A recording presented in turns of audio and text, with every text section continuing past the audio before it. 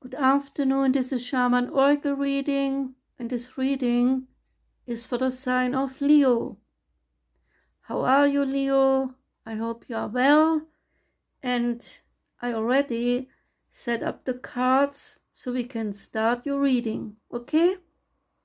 On the left, we have the energy oracle card called Magician and the Mirror. In the middle, we have the mystical shaman oracle card called Taming the Wind. And on the right, we have the animal spirit card called Cobra. The magician and the mirror are about knowing and using your true power. The card represents your personal and spiritual power at this time.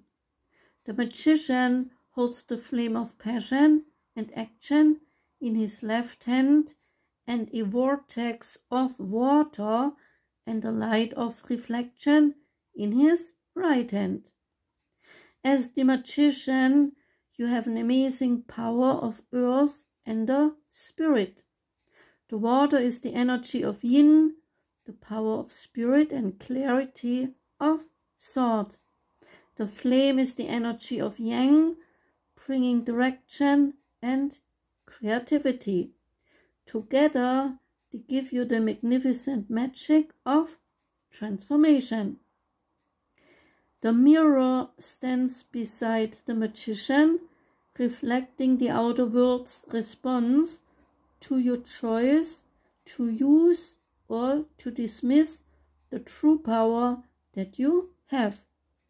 Its silver reflection reveals the future in a mist on the horizon, ready to be magically formed. When this card comes in your spread, Leo, you are informed that a powerful time is at hand. You are the alchemist of your life, and just like an alchemist can turn base metals into gold, you are now able to transform your difficulties into great blessing. This is true in every area of your life. Claim your power and embrace your intentions in your heart and your daily life. Direct your destiny and the mists of the future will clear into brilliant reality. Your life is the mirror that reflects your inner energy, Leo, and you have the ability to change what you see.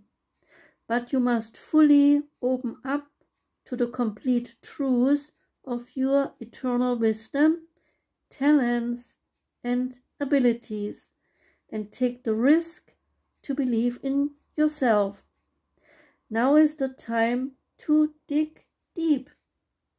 Find the confidence and courage within to make the most of this opportunity. You have all the resources you need and the unlimited force of the universe at your disposal.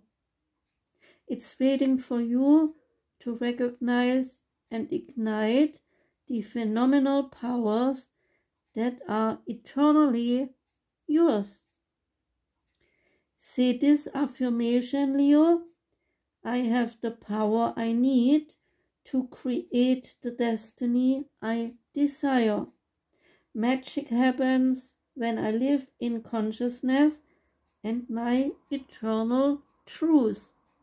Say again, I have the power I need to create the destiny I desire.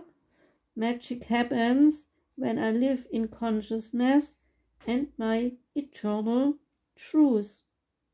Last time, I have the power I need to create the destiny I desire. Magic happens when I live in consciousness and my eternal truth. Now we come to the mystical shaman oracle card called Taming the Wind. And on the card we see the feather, a feather, and the feather here is a symbol that is used in clearing ceremonies and a secret commitment you make to your life. A symbol of consciously bringing the spiritual into the material and so acknowledging that there are higher planes of existence that influence all of life, even animate it. The feather is a symbol to deliberately entering into a partnership with the Great Spirit to co-create the highest good for all. The way you communicate is important, Leo, so clear your energy, be present, and become conscious. It is a perfect time to put your thoughts into a cohesive, cohesive form by writing a journal. You could also use a smudging ceremony in your home or office so to create a sacred space ready for you to write about your dreams and desires. Remember that when the card Taming the Wind appears in your reading, it is time to give especially respect to the Great Spirit by honoring it. Clean up all misunderstandings that you might have with others. Clear the air after disagreements with others and also allow them to point out their view on things. You need to be a good listener at this particular time. And this is a time where it is more important to understand rather than to be understood. You will be surprised how things get resolved once you allow all sides to have an equal weight and value.